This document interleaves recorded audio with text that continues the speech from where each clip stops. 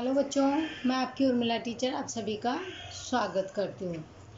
हम पढ़ रहे थे बी ए बी ए का चैप्टर एट, वित्तीय संचालन। और इसमें हमने तीन पार्ट पढ़ लिए हैं। आज हम पढ़ेंगे इसमें पूंजी, ढांचा, है ना?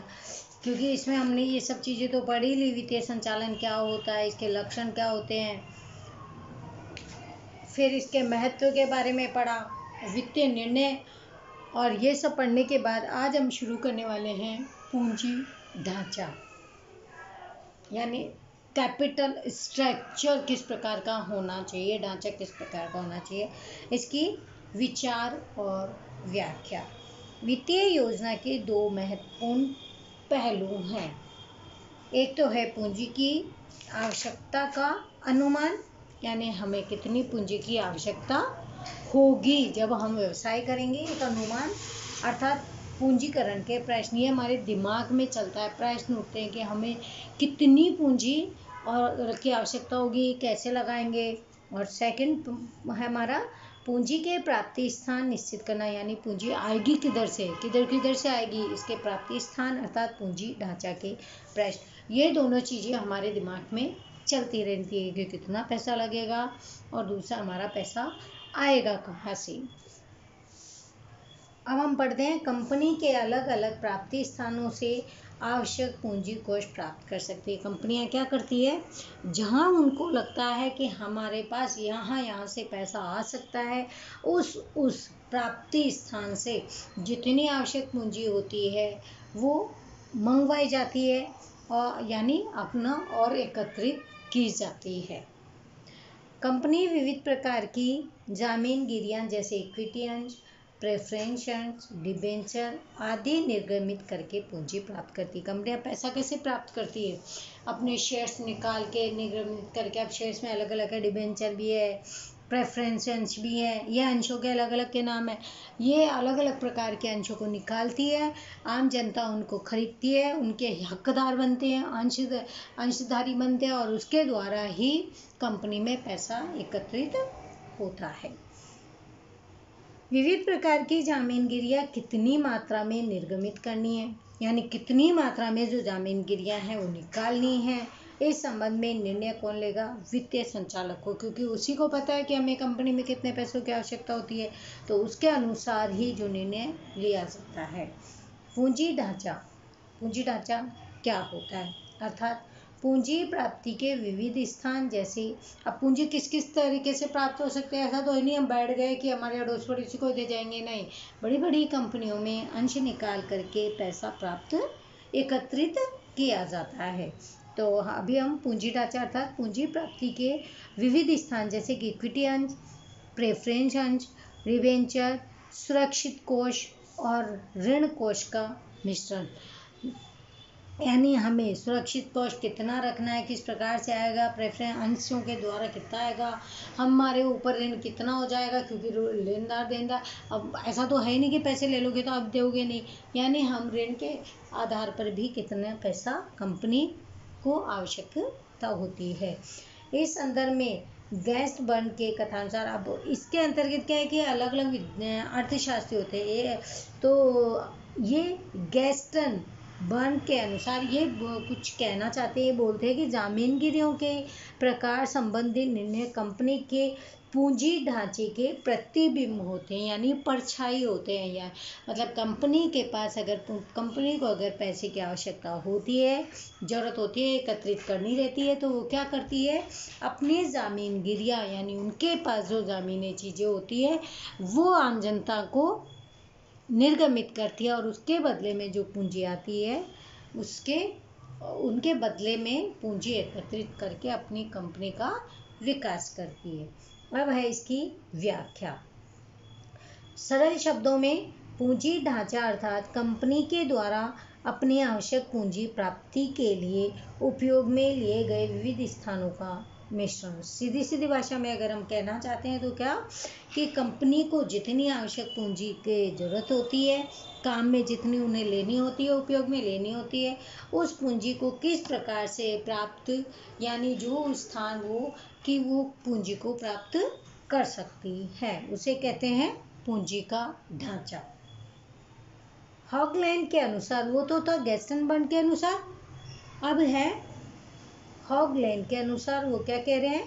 पूंजी ढांचा अर्थात द्रव्य प्राप्ति के लिए, द्रव्य में पैसा मनी के लिए कंपनी के द्वारा निर्गमित जामीनगिरी और उपयोग में लिए गए विविध प्राप्ति स्थानों का विस्तार उनके बीच की मात्रा, यानी किस प्रकार से आप पूंजी को एकत्रित कर रहे हो क्या क्या प्राप्ति स्थान है?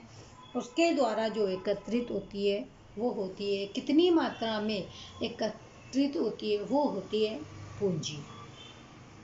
ये किसका कथन था? होगलैंड का कथन था। अब है आदर्श पूंजी ढांचे के लक्षण, यानी आदर्श पूंजी के जो ढांचा है, उसके लक्षण क्या क्या है? उसकी विशेषताएँ क्या क्या है? पहला है इसमें सरलता। कम से कम प्रकार की ज़मीन गिरियाँ निर्गमित की जाए, यानी कम से कम प्रकार की ज़मीन लोगों को दी जाए तो प्रबंध की दृष्टि से पूंजी ढांचा सरल होता है। उसका कारण क्या होता है कि हमारे ज़्यादा जामीनगिरी बाहर भी नहीं निकलती और हमें जितनी पैसे की ज़रूरत होती है, उपयोग में जितना लेना है, बस उतना ही हमें कोष एकत्रित करना है पूंजी ढांचा तैयार करने के लिए। दूसरा, यह आदर्श पूंजी ढांचे का लक्षण है। दूसरा है लाभदायकता। कंपनी का लाभ अधिकतम रहे, यानी कंप, कोई भी हो, कंपनी है यही चाहेगी कि उसका लाभ अधिक से अधिक किस प्रकार से हो सकता है।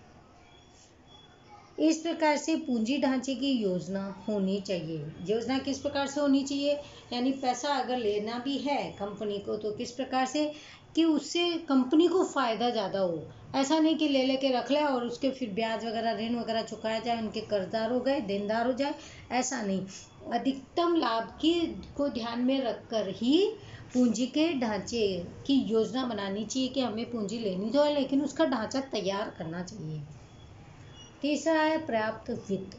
पूंजी ढांचे में विविध प्राप्ति स्थानों का संयोजन इस प्रकार करना चाहिए जिससे प्राप्त वित्त प्राप्त हो जाए, यानी जब प्राप्त पैसा हमको चाहिए तो किस प्रकार से कि आपस में प्राप्ति स्थानों का संयोजन बैठाना चाहिए? लगता है कि जिस जिस से हमें, जिस जिस माध्यम से हमारे पास पैसा आएगा, प्राप्ति स्थान है, उन सब में आपस में अच्छा संबंध रखना चाहिए, यानी संयोजन रखना चाहिए, जिससे क्या होगा कि प्राप्त यानी जितना हमें पैसे की आवश्यकता होगी, उतना वित्त हमें प्राप्त हो जाएगा। चौथा है परिवर्तनशीलता, कंपनी का ढांचा परिवर्तनशील होना चाहिए यानी कंपनी का ढांचा ऐसा नहीं कि बस एक, एक बार बनाया तो चलता रहा। नहीं वो बदलता हुआ होना आवश्यक है जिसे परिवर्तित परिस्थिति में और आवश्यकता के अनुसार उसमें परिवर्तन किए जाए जब भी ज़रूरत हो परिवर्तन करना है अपनी कंपनी में तो कर सके। इस प्रकार का ढांचा होना चाहिए। ऐसा नहीं स्थिर हो गया कि उसमें कुछ बदलाव ही नहीं हो। हो सकता है उसमें कुछ मान लीजिए आपको किसी चीज़ के उत्पादन करने में कोई नुकसान हो रहा है तो आप उस चीज़ को बदल सकते हैं। आप अपने उस उत्पादन पद्धति को बदल करके या जो भी वस्तु आप उत्पादन कर रहे हो, उसकी जगह दूसरी करो, क्योंकि आपको करना क्या है? आप उसको परिवर्तित कर सकते हो ऐसी परिस्थिति में जब आपका लॉस हो रहा। हम काम क्यों करते हैं? अपने फ़ायदे के लिए, यानी लाभ के लिए।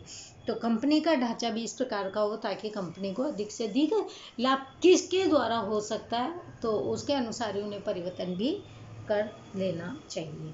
फिर है मितव्यता पूंजी ढांचे में विविध प्राप्ति स्थानों का संयोजित प्रकार करना चाहिए, जिसमें पूंजी की लागत अल्प मत रहे। यानी पूंजी जब लगानी है तो प्राप्ति तो कर लिया आपको ने लेकिन प्राप्त करने के बाद ऐसा नहीं है कि सारी पूंजी लगा दो। ऐसे लगाओ जिसमें ऐसे उत्पादन को काम में लो, ऐसे उत्पादन बनाओ कंपनी में, जिसमें लागत तो रहे कम से कम, और अब लागत कम रहेगी तो पूंजी भी कम लगेगी। और उसमें फ़ायदा अधिक हो, यानी कम लागत में, कम पूंजी में अधिक से अधिक लाभ हो, अधिक से अधिक उत्पादन हो, ऐसा करके उपाय करना आवश्यक है। सिक्स पॉइंट है संतुलन।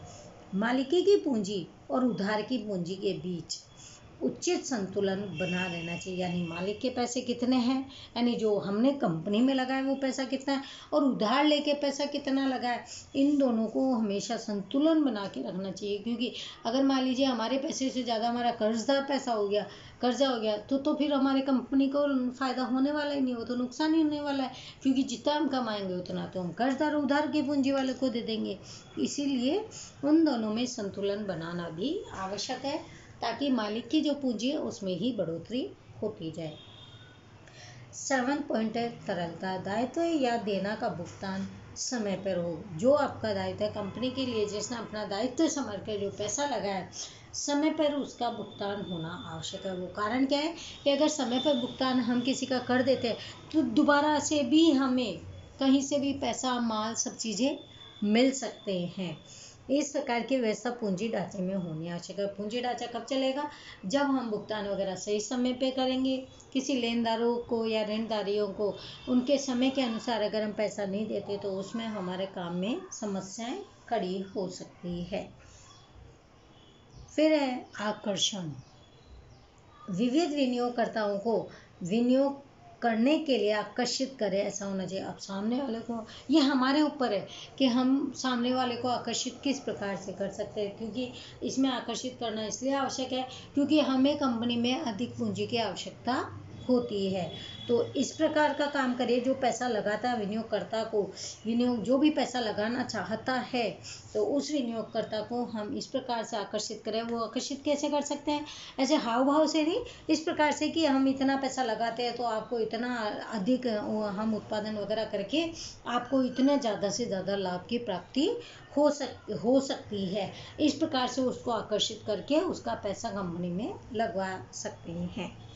अब है नाइन पॉइंट है, सुदृढ़ता। उधार की पूंजी की मात्रा इतनी अधिक नहीं होनी चाहिए, यानी जितनी ज़्यादा पैसा उधार हो जाता है, उतना ही कंपनी के सिर पे एक बोझ हो जाता है। यानी कितना होना चाहिए, ऐसा होना चाहिए जितना कि वो दे सकते हैं। क्योंकि जितनी ज़्यादा उधार पूंजी लेंगे, उसके बदले में उसको ब्याज भी देना पड़ता है। तो वो ब्याज एक ऐसी चीज़ है जिसके ब्याज के बोझ कंपनी कब तक सहन कर सकती है? क्योंकि वो जो कमाएगी वो तो ब्याज में ही निकल जाएगा। इसीलिए कम ब्याज पे पैसे ले करके और अधिक से अधिक उत्पादन, यानी कम लागत पे अधिक से अधिक उत्पादन किया जाए तो वो कंपनी पे भार भी नहीं होगा और कंपनी को फ़ायदा भी होगा। और अगर मान लीजिए अधिक पैसा लिए जाए लिए जाए तो उसका ब्याज भी बहुत होगा। एक तो उधार रकम प्लस उसका ब्याज तो कंपनी में क्या होगा? या तो कंपनी दिवालिया हो जाएगी या फिर कंपनी को जोखिम पैदा हो जाएगी। ये थे हमारे आदर्श पूंजी के लक्षण। अब हमारे हैं पूंजी ढांचे के प्रकार, यानी पूंजी ढांचे के प्रकार कितने हैं? पूंजी ढांचे के चार प्रकार हैं। इक्विटी अंश का पूंजी ढांचा, दूसरा इक्विटी अंश के साथ प्रेफरेंस अंश का पूंजी ढांचा, तीसरा इक्विटी अंश के साथ डिबेंचर का पूंजी ढांचा और इक्विटी अंश के साथ प्रेफरेंस अंश और डिबेंचर का ढांचा। और अब हम पढ़ेंगे पूंजी ढांचे को प्रभावित करने वाले तत्व के पूंजी ढांचे को कौन कौन से ऐसे तत्व हैं जो प्रभावित कर सकते हैं? उसके बारे में हम अब पढ़ेंगे।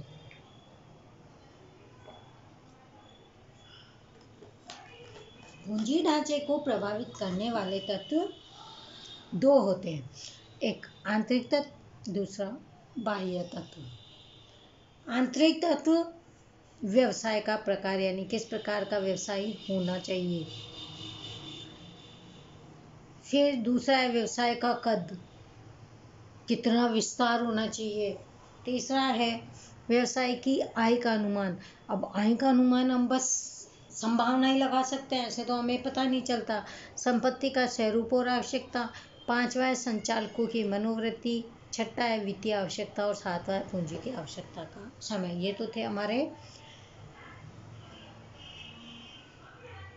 आंतरिक तत्व। अब है हमारे बाह्य तत्व है, पूंजी बाज़ार में तेज़ी मंदी की परिस्थिति। सेकंड पॉइंट है, पूंजी बाज़ार में प्रवर्तमान ब्याज की दर क्या चल रही है? तीसरा पूंजी लागत जामीनगिरियों को निर्गमित करने का खर्च। और चौथा है, कानूनी नियंत्रण। पांचवा, कर नीति। छठा है, संस्था की विनियोगकर्ता। और सातवा है, विदेशी संस्थाकीय विनियोगकर्ता। यह हमारे आंतरिक और बाह्य तत्व होते हैं, जिनके कारण हमारे पूंजी ढांचा को प्रभावित, इनके द्वारा पूंजी ढांचा प्रभावित होता है, ये तत्व हैं। पहले हम पढ़ेंगे आंतरिक तत्व। आंतरिक तत्व में सबसे पहला पॉइंट था हमारा, व्यवसाय का प्रकार, यानी किस प्रकार का आपका व्यवसाय है। उत्पादन करने वाली विशाल औद्योगिक इकाई में स्थायी पूंजी की आवश्यकता अधिक होती है। जो बड़े बड़ी कंपनियाँ होती है बड़ा बड़ा जो उद्योग चलाता है तो उसके लिए कैसी पूंजी होती है? स्थायी, क्योंकि वो लंबे समय के लिए चलती है। बड़े उद्योग है, बड़ी कंपनियाँ हैं तो पैसा जो लगाया जाता है, वो भी एक दीर्घ समय के लिए ही लगाया जाता है, वो स्थिर होता है उसमें। जबकि व्यापारिक कंपनियों में स्थायी पूंजी की आवश्यकता कम होती है। औद्योगिक उद्योगों में तो ज़्यादा स्थायी होती है, लेकिन जो व्यापारिक इकाइयाँ जो अपनी पूंजी लगा कर जो कंपनियाँ खोलती है, उसमें स्थायी नहीं होती है, क्योंकि उसमें पैसों की आवश्यकता कम होती है और उद्योगों में जो बड़े बड़े उद्योग होते हैं, फैक्ट्रियाँ जो होती है, उसमें पैसे की आवश्यकता अधिक होती है। सेवा देने वाली कंपनियों में सेवा के प्रकार के आधार पर स्थायी पूंजी विनियोग की जाती है। यानी किस प्रकार की आपकी कंपनी है, किस प्रकार का आपका उद्योग है, उसी के अनुसार आपकी उसमें पैसा, यानी पूंजी भी विनियोग करने की तय हो जाता है। अब छोटी मोटी कंपनियाँ खोलोगे तो उसमें लिमिट होता है पैसों का, और उद्योग वगैरह, फैक्ट्री वगैरह खोलोगे तो उसका पैसा अधिक मात्रा में लगता है। सेकंड पॉइंट है, व्यवसाय का कद। बड़े कद की इकाइयों की प्रवृत्तियाँ विशाल पैमाने पर बड़े बड़े जो कद है बड़े बड़ी जो इकाइयाँ, उद्योग हैं, उनकी प्रवृत्ति भी बड़ी होती, बड़े पैमाने पर होती है, क्योंकि मशीनें उनकी महँगी महँगी आती है तो उसमें स्थायी पूंजी की आवश्यकता और प्रमाण भी विशाल होता है, यानी पैसा भी बहुत ज़्यादा चाहिए और वो काफ़ी विशाल, यानी काफ़ी बड़ा उद्योगों में आता है। और छोटे लघु उद्योग, लघु आकार के उद्योगों को कम मात्रा में स्थायी पूंजी की आवश्यकता है, जबकि जो छोटे उद्योग होते हैं, छोटे जो कंपनियाँ होती है, उसमें पैसा तो स्थायी लगता है, लेकिन पैसे की आवश्यकता उसमें कम होती है। व्यापारी इकाइयों में स्थायी पूंजी की आवश्यकता भी कम होती है। जो व्यापार जो लोग करते हैं, उनमें और भी कम पूंजी की आवश्यकता होती है। होती तो इनमें सब में स्थायी है, क्योंकि जब हम सोच के चल रहे हैं कि हमको ये व्यापार करना है, ये व्यवसाय करना है, कंपनी खोलनी तो वो स्थायी के लिए ही कर रहे हैं। ऐसा नहीं है, एक साल, दो साल के नहीं है। जब तक वही चले, लाभ देती रहे, तब तक तो चलती है, लेकिन उसके अनुसार इसमें पूंजी लगती है व्यापारी है तो उसमें कम पूंजी लगेगी। लघु उद्योग है तो उसमें उससे थोड़ी सी ज़्यादा लगेगी बहुत ज़्यादा जो औद्योगिक है, उत्पादन, जो फैक्ट्रियाँ जो खोलते हैं, उसमें काफ़ी अधिक मात्रा में पैसे की आवश्यकता पड़ती है। अब तीसरा पॉइंट हमारा व्यवसाय की आय का अनुमान। व्यवसाय की आय स्थिर या स्थिर हो सकती है, यानी जो व्यापारी है, अब उनकी आय कम या ज़्यादा हो सकती है हम कैसे कह सकते हैं कि इतनी ज़्यादा होगी स्थिर भी हो सकती है वो स्थिर भी हो सकती है यानी एकदम ऐसे अमाउंट फिक्स अभी अभी मान लीजिए एग्जांपल है कि जैसे हम किसी में भी कहीं पे भी जॉब करते हैं वहाँ हमारी सैलरी फिक्स होती है चाहे वहाँ का, का काम हो चाहे नहीं हो हमारी सैलरी फिक्स हो जाती है वो इतनी तो देंगे ही देंगे लेकिन जब ऐसे मान लीजिए व्यवसाय है व्यवसाय खुद का है तो कभी व्यवसाय में आपको ज़्यादा भी पैसा मिल सकता है कभी आपकी इनकम कम भी हो सकती है, क्योंकि हम कुछ भी नहीं कर सकते, कभी ज़्यादा सामान निकलता, कभी कम निकलता, कभी माल किसी को सही नहीं लगता, कभी किसी में परिवर्तन हो जाता है। इसके अनुसार उसमें आई भी स्थिर या अस्थिर हो सकती है। कंपनी के भविष्य में अंदाजी आय स्थिर और अच्छी मात्रा में हो, कंपनी उधार की पूंजी पर आधार रखती है। अब कंपनी के अगर अच्छी भविष्य में एक अंदाज़ा लगाया जाए कि हमारा अधिक हमें अधिक भविष्य में अधिक आय हमें मिले तो उसके लिए वो क्या करते हैं कि एक अंदाज़ा लगा देते हैं। और जो उन्होंने कंपनी में जो पैसा लगाया तो ये सोच कर कि इसमें अधिक लाभ किस प्रकार से हुआ? एक अनुमान ही है ये सब चीज़ें कि लाभ प्राप्त करने के लिए वो कम से कम लागत में अधिक से अधिक उत्पादन करेंगे तो उनकी इनकम में फ़र्क पड़ेगा, उनकी आय भी बढ़ जाएगी, अन्यथा उनकी आय भी नहीं बढ़ती। इसीलिए इन आय स्थिर और स्थिर हो सकती है। चौथा पॉइंट है, संपत्ति का स्वरूप और आवश्यकता। विशाल पैमाने पर संपत्ति के व्यवसाय में अधिक आवश्यकता हो। बड़े पैमाने पर जो संपत्ति की व्यवसाय है तो उसमें अधिक पैसे की आवश्यकता होती है। तब पूंजी ढांचे में इक्विटी अंशों की अधिक मात्रा होती है।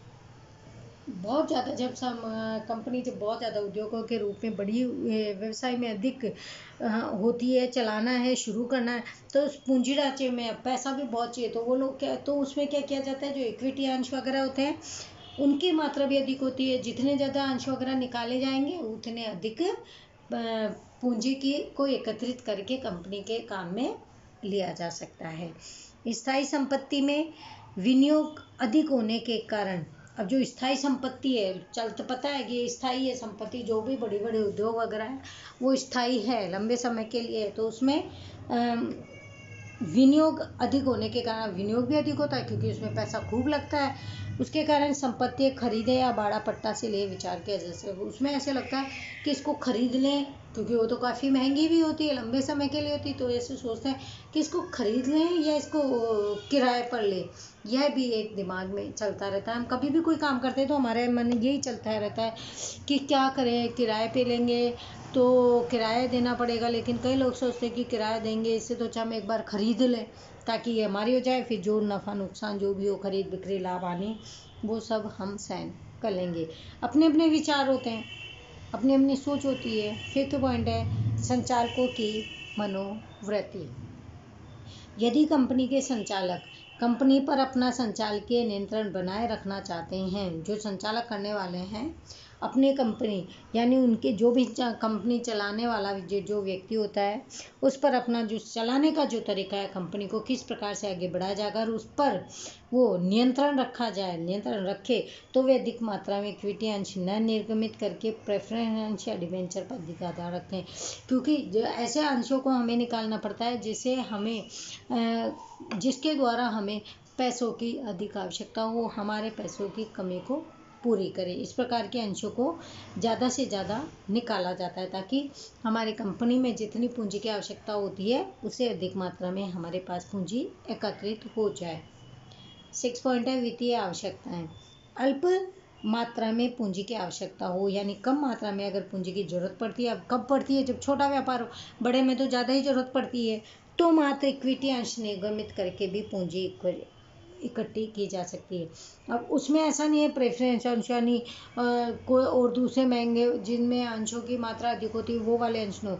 नहीं, जब पैसों की हमें आवश्यकता कम है, मान लीजिए किसी कंपनी में तो वो फिर अंश भी उसके अनुसार ही निर्गमित करेंगे।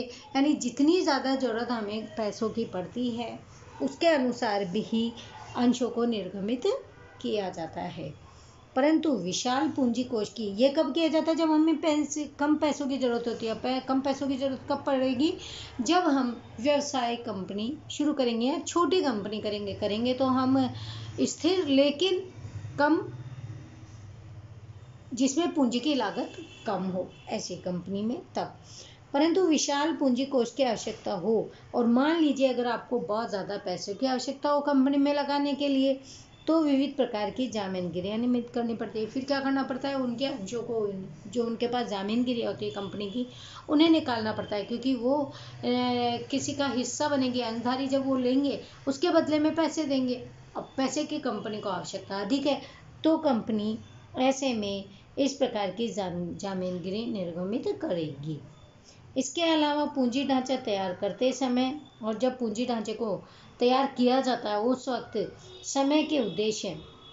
यानी पूंजी ढांचे पूंजी ढांचा यानी इतना पैसा आएगा, उसको किस प्रकार से लगाना, ये ढांचा तैयार किया जाता है उस वक्त लंबे समय के दे यानी और जो भी पैसा लगाया जाएगा, वो लंबे समय को, के उद्देश्यों को ध्यान में रख करके ही लगाया जाता है। योजनाएँ अब उसके लिए एक आने वाले समय की योजना बनाई जाती है कि किस प्रकार से पैसा कैसे लगाया जाए ताकि लंबे समय तक हम अपने उद्देश्य की प्राप्ति कर सके। भावी विकास की संभावना। अब उसके लिए क्या है कि अधिक से अधिक विकास भी होना आवश्यक है। क्योंकि पैसा जब लगाया जाता है तो ये सब चीज़ें पहले ही ध्यान में लगाई जाती है। आपका लक्ष्य क्या है? आपकी योजना क्या है कि किस प्रकार से आप धंधा लगाओगे, फिर जो प्रॉफिट होगा उसको किस प्रकार से आगे बढ़ाओगे? क्योंकि आपका आपका विचार क्या है? भावी विकास है, यानी अधिक से अधिक काम करने की, अधिक से अधिक विस्तार करने की आपके अगर संभावना है तो हमें उसके पूंजी ढांचे को पहले से ही तैयार करना पड़ता है।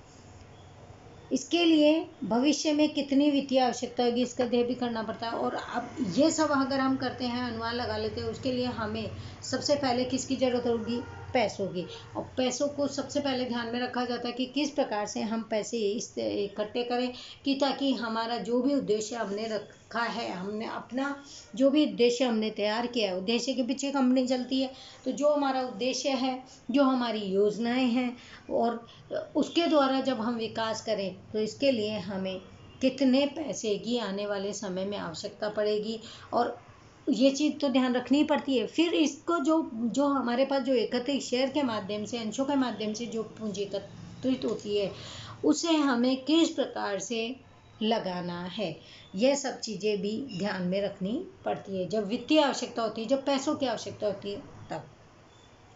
और उसके बाद है, पूंजी की आवश्यकता का समय, सातवां पॉइंट है हमारा। यदि पूंजी की आवश्यकता स्थायी हो, यदि मान लीजिए आपको कंपनी में लग रहा है, आपको लग रहा है कि ये पूंजी लंबे समय तक है, स्थायी रखनी है, लंबे समय तक चल रही है तो इक्विटी अंश निर्गमित करना पसंद करेंगे। सबसे पहले कौन से? इक्विटी अंश देंगे। उसका कारण है कि लंबे समय तक पैसे चाहिए तो वो ऐसे अंश हैं ये, जो लंबे समय तक के लिए उनके, इनको निकाल दिया जाएगा और इनके बदले में जो पैसा आएगा, पूंजी आएगी, वो रख के एकत्रित करके अपनी कंपनी में लगा दी जाएगी। दूसरी ओर कंपनी को अल्प समय के लिए पूंजी की आवश्यकता और ये तो थी, अधिक समय के लिए अगर पूंजी की आवश्यकता होती है, तब तो इक्विटी अंक दिए जाते हैं। और कम समय के लिए जब पैसे की आवश्यकता होती है तो डिबेंचर या प्रेफरेंस की, के द्वारा पूंजी प्राप्त करेंगे। अगर मान लीजिए कम समय के लिए आपको पैसे की आवश्यकता पड़ती है कंपनी के लिए तो उस उस वक्त आप पैसे की आवश्यकता होती है, कंपनियों के पास मेन क्या चीज़ें होती है? डिमेंचर होते हैं, अंश होते हैं शेयर्स होते हैं यही होते हैं। तो ये जब निकालती है, तब कंपनी, तब इनके पास से कंपनी के पास पैसा यानी पूंजी एकत्रित हो जाती है। और जब कुछ समय के लिए पैसे की आवश्यकता होती है तो डिबेंचर प्रेफरेंस दिए जाते हैं। और अगर लंबे समय के लिए दिए जाते हैं तो इक्विटी अंश दिए जाते हैं, क्योंकि कंपनी को पैसों की आवश्यकता अधिक या कम, दोनों में से कोई भी हो सकती है, यानी किस प्रकार से आपका व्यवसाय है, उसके अनुसार ही आपको इनकी पैसों की आवश्यकता भी होती है। तो आज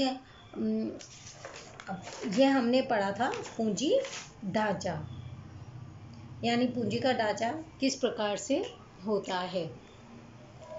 आज हमने पढ़ा पूंजी ढांचा, इसमें हमने इसके आदर्श पूंजी ढांचे के लक्षण के आदर्श पूंजी ढांचे के लक्षण क्या क्या होते हैं, ये हमने सात पॉइंट पढ़े थे। उसके ये सरलता, लाभदायकता, पर्याप्त वित्त परिवर्तनशीलता, मित्रता, संतुलन, तरलता, आकर्षण और सुदृढ़ता, ये हमारे आदर्श पूंजी के लक्षण हैं। उसके बाद हमको, हमने पढ़ा कि पूंजी प्राप्ति के चार प्रकार होते हैं, इक्विटी अंश इक्विटी अंश के साथ प्रेफरेंस इक्विटी अंश के साथ डिबेंचर और फिर फोर्थ था इक्विटी अंश के साथ प्रेफरेंस और डिबेंचर यानी इन चारों के द्वारा।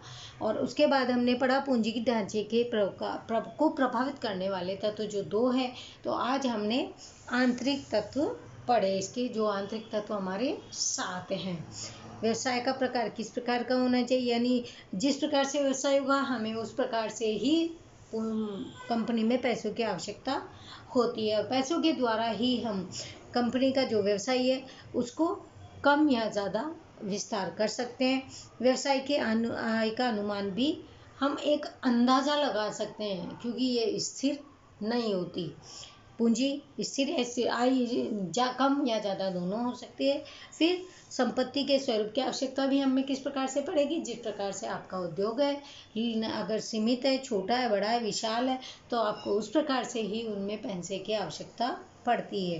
फिर संचालकों की मनोवृत्ति का भी, को भी नियंत्रण करने का काम भी कौन करता है? जो वित्तीय, जो पैसों का लेखा जोखा करता है, उसके अंतर्गत ही किया जाता है। वित्त की आवश्यकता किस प्रकार से होती है? जिस प्रकार से आप बिज़नेस को बढ़ाएँगे व्यवसाय को बढ़ाते हैं, उस प्रकार से आपको कम या ज़्यादा पैसों की आवश्यकता पड़ती है। जब ज़्यादा पैसों की आवश्यकता पड़ती है लंबे समय के लिए तो आप आप कम पैसों के लिए आप इक्विटी अंश निर्गमित करके कंपनी में पैसा इकट्ठा कर सकते हो। इस प्रकार से हम कंपनी में पैसा इकट्ठा करके जो पूंजी लगाई जाती है, उसको एकत्रित कर सकते हैं। और फिर था पूंजी की आवश्यकता का समय, यानी किस प्रकार, कब हमें पूंजी की कम या ज़्यादा आवश्यकता होती है और उस स्थायी होती है, यानी लंबे समय के लिए होती तो कौन से अंश हमें निर्गमित करने पड़ते हैं? और कम समय के लिए होती है तो हमें किस प्रकार के अंशों के द्वारा पूंजी प्राप्त करनी चाहिए, की जा सकती है? तो आज का लेक्चर हम यहीं पे रोकते हैं। आगे का कंटिन्यू हम कल करेंगे। वही अभी हमारा बीए चलेगा, जब तक एक चैप्टर कंप्लीट नहीं होता, हम दूसरा सब्जेक्ट नहीं उठाएँगे। तब तक के लिए थैंक यू एवरीवन बाय बच्चों, और ये उम्मीद करती हूँ कि आप लोग ये पढ़ेंगे। काफ़ी बड़ा चैप्टर है हमारा। लेकिन आप अगर इनको साथ साथ पढ़ेंगे तो सब कुछ कवर हो जाएगा। थैंक यू एवरीवन बाय बच्चों।